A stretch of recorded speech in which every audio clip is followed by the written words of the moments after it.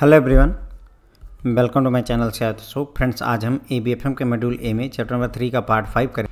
तो ये चैप्टर है आपका ऑर्गेनाइजिंग के बारे में और यहाँ पर हम फंक्शनल ऑर्गेनाइजेशन क्या होते हैं और उनके एडवांटेज डिसएडवांटेज की बात करने वाले हैं। ठीक है? तो देखिए based on nature of authority and its flow basically जो ऑर्गेनाइजेशन होते हैं, चार टाइप के होते हैं सेंट्रलाइड और डिसेंट्रलाइड जो हमने पढ़ लिया है। लाइन एंड स्टाफ ऑर्गेनाइजेशन पिछले लेक्चर में पढ़ा था। फंक्शनल ऑर्गेनाइजेशन हम इस लेक्चर में पढ़ेंगे और कमेटी ऑर्गेनाइजेशन के बारे में अगले लेक्चर में पढ़ने वाले हैं। तो ये कवर हो चुका है, ये कवर हो चुका है, ये मैं कवर करने जा रहा हूँ।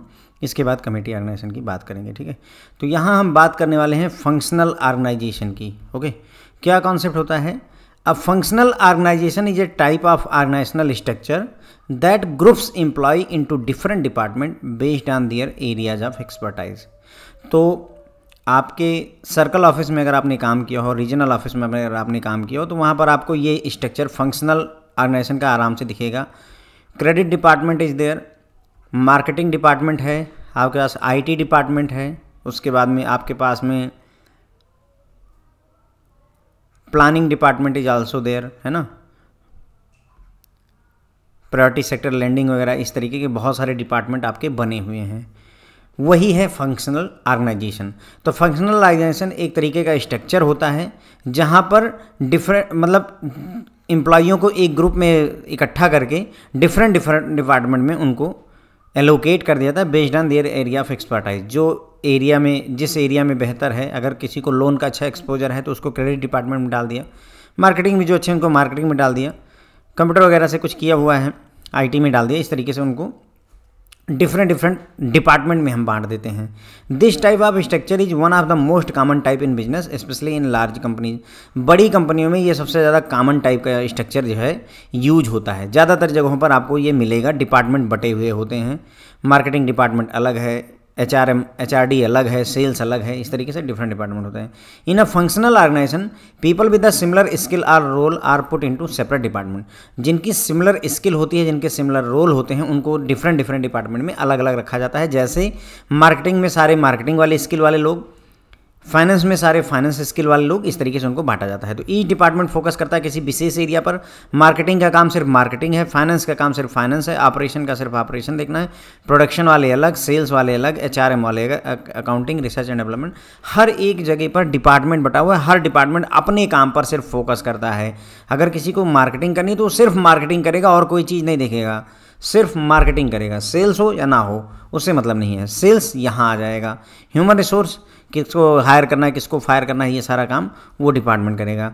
A functional organization is a segregate is segregated within the company so that specialist can maintain their position at highest level functional organization में जो फंक्शनल ऑर्गेनाइजेशन होता है, वो किसी कंपनी में एक सेग्रीगेटेड डिपार्टमेंट यानी हर एक का अपना एक सेग्रीगेटेड तरीका अलग अलग जगहों पर स्पेशलिस्ट को बिठाया जाता है ताकि हाईएस्ट लेवल की जो पोजीशन है उसको मेंटेन किया जा सके। अभी ये बवाल, उल्टा सीधा बवाल करते हैं। मतलब इनकी लैंग्वेज मैकमेलन वालों की होती है, इतनी गंदी क्या बोलें।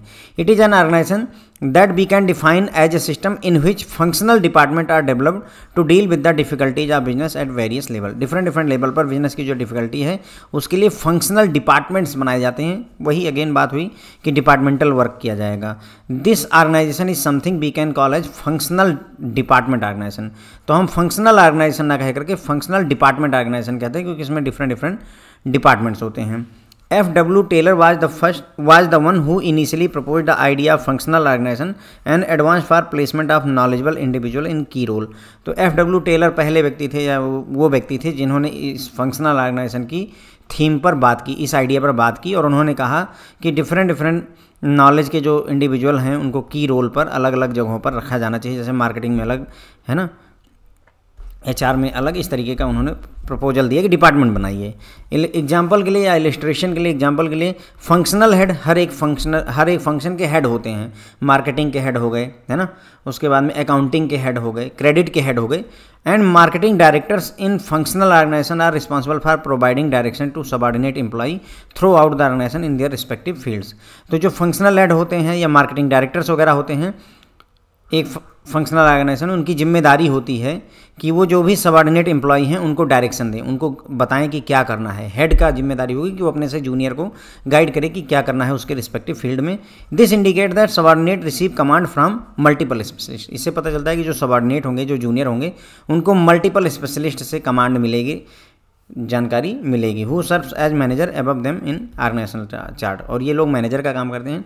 जैसे अगर आप ब्रांच में ब्रांच मैनेजर हैं, ठीक है? आप ब्रांच मैनेजर हैं तो आपको सर्कल ऑफ़िस से हर एक डिपार्टमेंट से इंस्ट्रक्शन पास होती हैं। दिन के बीस कॉल, पचास कॉल आने लगते हैं कि आपको ये करना है, वो करना है। ये सभी क्या हैं? ये सब आपके मैनेजर हैं एक तरीके के, बॉस हो गए एक तरीके से और आपसे काम करवाने की कोशिश ये कर रहे हैं ओके उसके बाद फीचर्स ऑफ़ फंक्शनल ऑर्गेनाइजेशन में करें। बात तो all the activities of functional organization are broken down into respective function जितनी भी एक्टिविटीज़ हैं फंक्शनल ऑर्गेनाइजेशन की, उनको रिस्पेक्टिव फ़ंक्शन में डिवाइड कर दिया जाता है कि यानी कि क्रेडिट का काम अलग होगा मार्केटिंग का काम अलग होगा एचआर का काम अलग होगा। तो अलग अलग फ़ंक्शन में बांट दिया जाता है which include function like operations finance marketing personal relation छोटी ऑर्गेनाइजेशन होगी, उसमें सारा काम एक ही व्यक्ति देख रहा है। पता चल रहा है कि मार्केटिंग वाली कॉल भी वही कर रहा है। अगर उधर से कोई कस्टमर की कंप्लेंट आ रही है, उसको रिजॉल्व भी कर रहा है, वही रिक्रूटमेंट कर रहा है, वही फायरिंग कर रहा है, वही एम्प्लॉय को कहाँ बैठना है लाइट है, नहीं है, सारी चीज़ें देख रहा है। लेकिन बड़ी ऑर्गेनाइजेशन में ये संभव नहीं हो पाता है। तो वहाँ पर क्या होता है कि हर जो टास्क होता है, उसको डिफरेंट डिफरेंट पार्ट में ब्रेक डाउन कर दिया था कि हाँ ये काम तुम देखोगे, ये काम तुम देखोगे।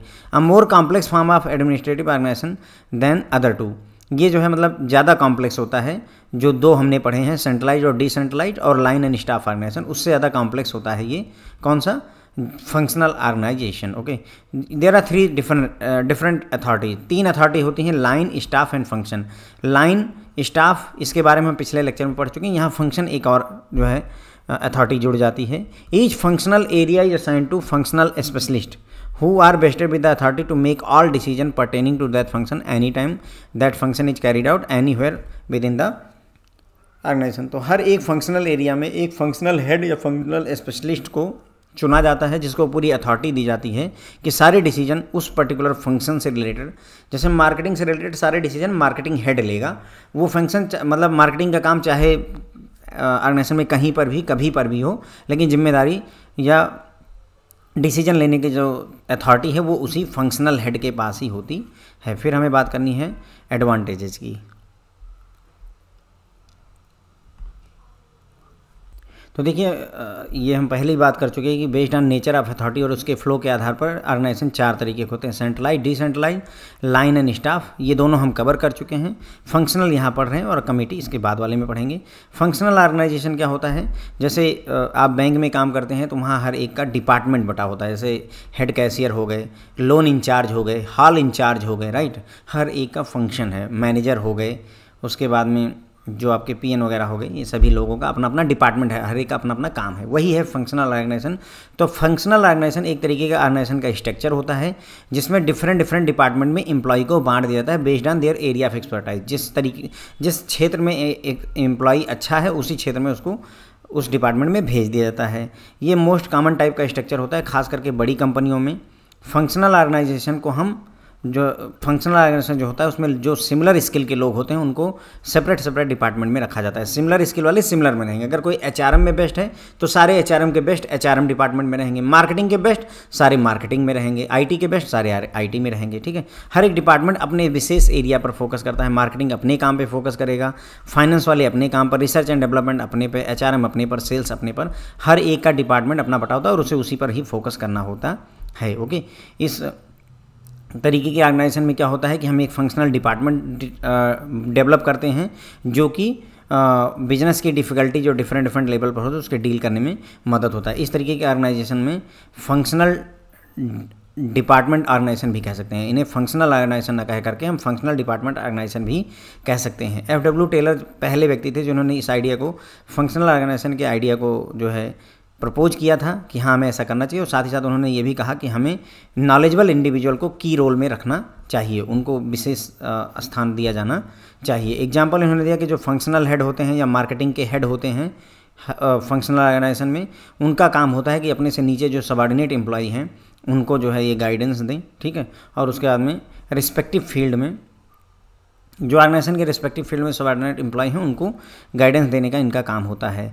इससे ये इंडिकेट करता है कि जो सबॉर्डिनेट होते हैं, उनको कमांड जो है different different specialization multiple specialization marketing वाला भी इंस्ट्रक्शन दे रहा है और उनके क्रेडिट वाले भी इंस्ट्रक्शन दे रहे हैं। तो डिफरेंट डिफरेंट मैनेजर्स से उनको जो है कमांड्स आती रहती हैं। फिर हमने बात की फीचर ऑफ़ फंक्शनल ऑर्गेनाइजेशन की तो वही बात होती है कि इसमें जितनी भी एक्टिविटी हैं फंक्शनल ऑर्गेनाइजेशन की, उनको डिफरेंट डिफरेंट फ़ंक्शन के हिसाब से डिवाइड कर दिया जाता ब्रेक कर दिया जाता है ऑपरेशन अलग हो गया फाइनेंस डिपार्टमेंट अलग मार्केटिंग अलग पर्सनल रिलेशन अलग, इस तरीके के डिफरेंट डिफरेंट डिपार्टमेंट में हम बांट देते हैं। ये बाकी जो दो टाइप के ऑर्गेनाइजेशन होते हैं सेंट्रलाइज और डिसेंट्रलाइज और लाइन एंड स्टाफ ऑर्गेनाइजेशन उससे ज़्यादा कॉम्प्लेक्स एडमिनिस्ट्रेटिव ऑर्गेनाइजेशन होता है। यहाँ तीन अथॉरिटीज़ होती हैं line staff and function line मैंने आपको बताया था कि सीनियर जूनियर वाला ये आपके जीएम, है ना? डीजीएम, एजीएम, ये लाइन हो गया और एक बाहर से हमने बंदा बुलाया, वो स्टाफ कहलाता है और इसी में एक फ़ंक्शन का कॉन्सेप्ट आ गया कि भैया एचआरएम फ़ंक्शन और ये फ़ंक्शन, वो फ़ंक्शन, ठीक है? तो ये तीन अथॉरिटीज़ होती हैं। हर एक फंक्शनल एरिया में एक फंक्शनल स्पेशलिस्ट को असाइन किया जाता है, यानी कि हर एक डिपार्टमेंट का एक हेड बनाया जाता है, जिसको अथॉरिटी होती है सारे डिसीज़न लेने की, उस फ़ंक्शन से रिलेटेड ऑर्गेनाइजेशन में कहीं पर भी, कभी भी वो काम होगा तो उसका डिसीज़न उसी व्यक्ति को लेना है। जैसे मार्केटिंग का हेड जो है, अब मार्केटिंग से रिलेटेड चाहे जो भी फैसला ऑर्गेनाइजेशन में लिया जाएगा मार्केटिंग हेड ही उस फैसले को लेगा। यही बात यहाँ पर हो गई, ठीक है?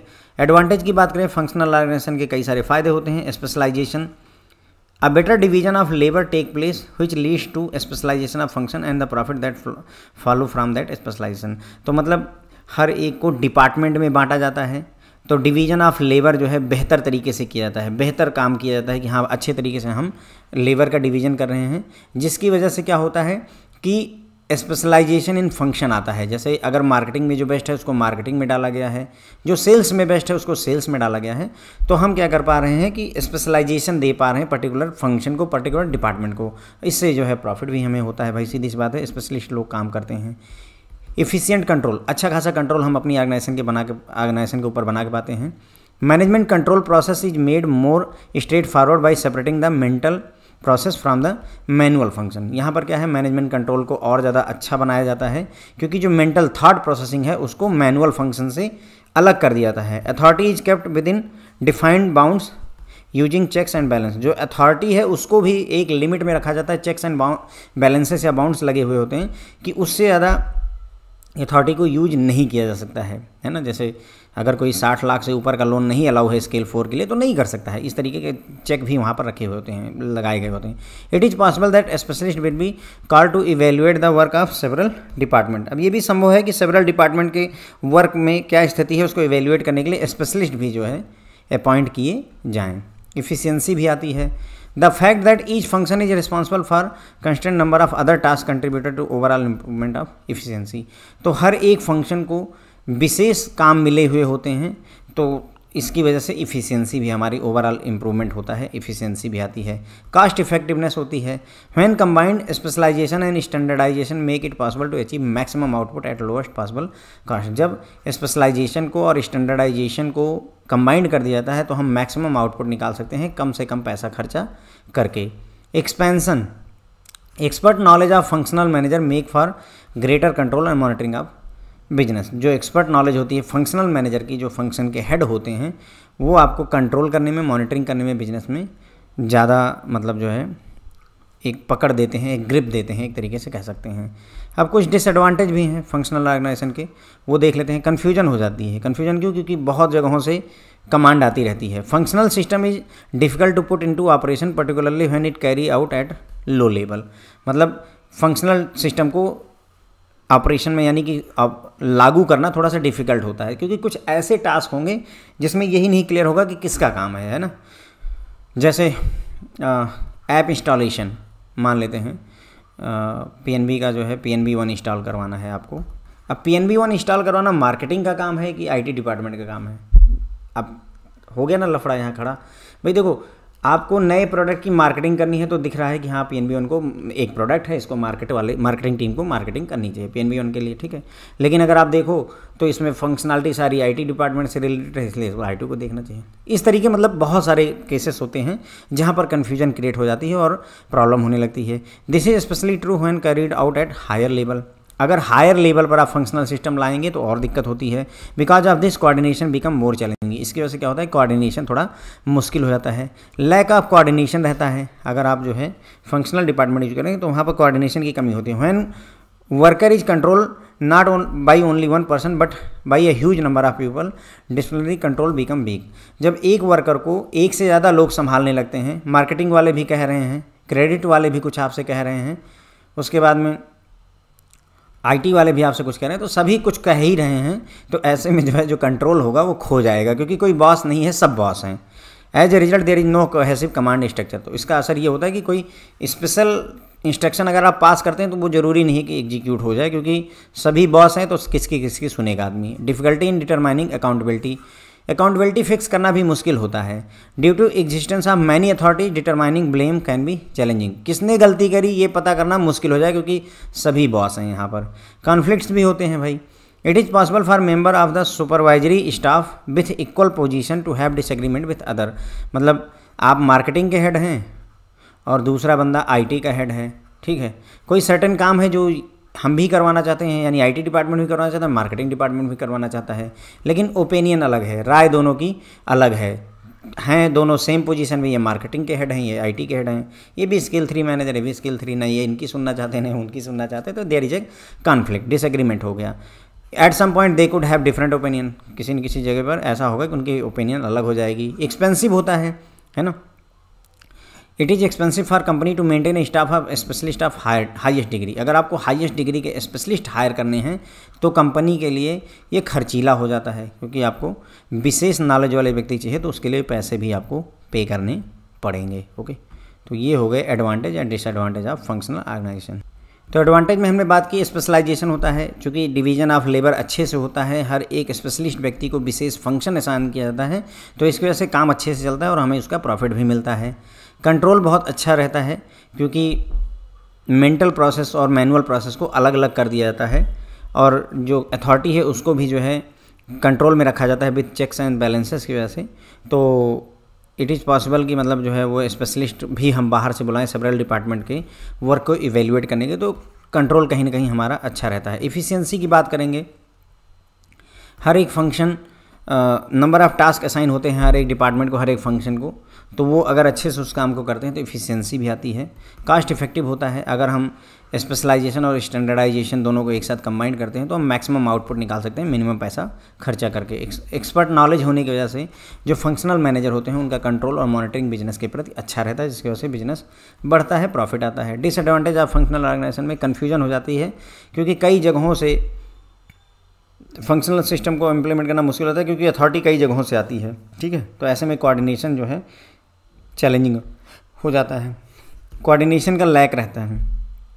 यानी कि अगर वर्कर को कई जगहों से जो है, कई एक पर्सन नहीं, बल्कि नंबर ऑफ़ पीपल जो है, उसको अगर इंस्ट्रक्शन पास कर रहे हैं तो ऐसे में जो कंट्रोल है उस वर्कर के ऊपर, वो कमज़ोर हो जाता है। तो कोहेसिव कमांड स्ट्रक्चर नहीं रहता जैसे ए बॉस है और बी सबॉर्डिनेट है तो ए ने जो कहा वो बी को करना होगा। लेकिन अगर ए के ऊपर जो है सी डी ई एफ़ सभी के सभी बॉस हैं और केवल बी को ही काम करना है तो किसके किसके सुनेगा?